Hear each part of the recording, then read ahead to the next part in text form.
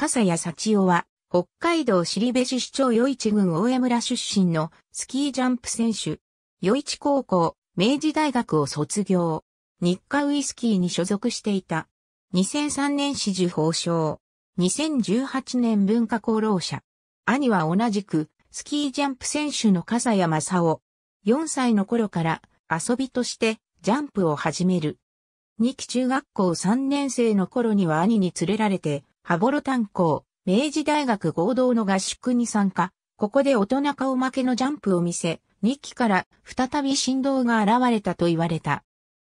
1959年に北海道余市高等学校に入学するが、スキー部の方針で高校選手権に出場できず、その怒りを闘争心に変えてこのシーズンのあらゆる大会の少年組を勝ち続けて、翌1960年の新潟県高田市での全日本選手権に出場。この大会で3位に入ったほかこの年から海外遠征をこなすようになり、1963年2月22日の第2回 STV ハイジャンプ大会では日本人2人目の100メートルジャンパーとなるなど一気に日本を代表するジャンパーへと成長を遂げた。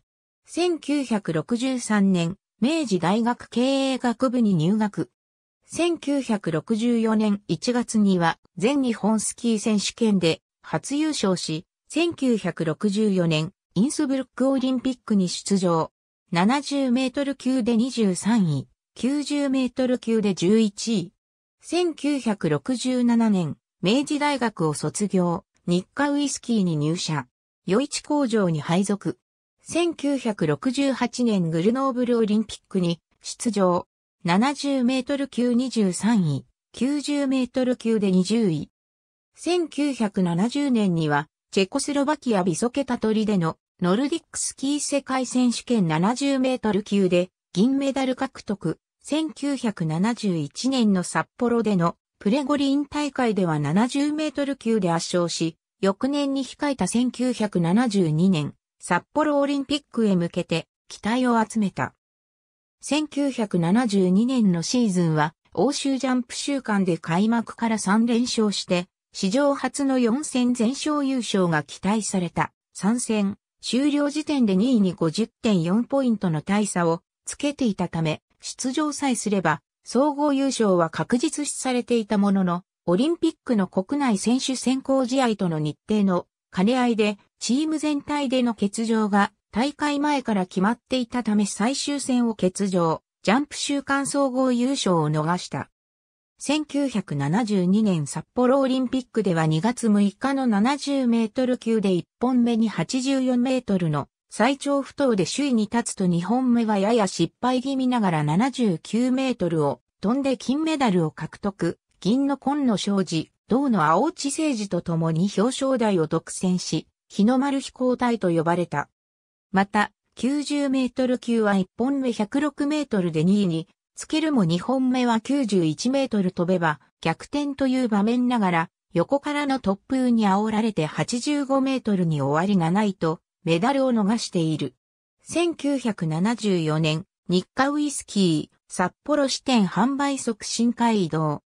1976年インスブルックオリンピック後も現役続行の意思を示していたが、当時兼任していたコーチ業に専念することとし、1976年10月、現役引退。1979年、日本体育協会の派遣コーチとして、オーストリアに2年間留学。コーチとしての知識を身につける。帰国後、社業の傍ら全日本スキー連盟の強化コーチとして、ジャンプ選手の育成、強化に努め、1984年サラエボオリンピック、1988年カルガリーオリンピックの日本代表チームのコーチとして参加。しかし当時の日本チームは世界と互角に戦える選手層ではなかったこともあり、成績は振るわず、日課ウイスキー、東京本社広報部副部長兼、お客様相談室長への移動も機に、連盟の強化コーチを退任。連盟の日型審判委員会委員となる。1992年、日課ウイスキー、東京本社広報部部長に昇格。その後国際審判員の資格も取り、ワールドカップ、オリンピック、世界選手権などのジャンプ競技で審判を務めた。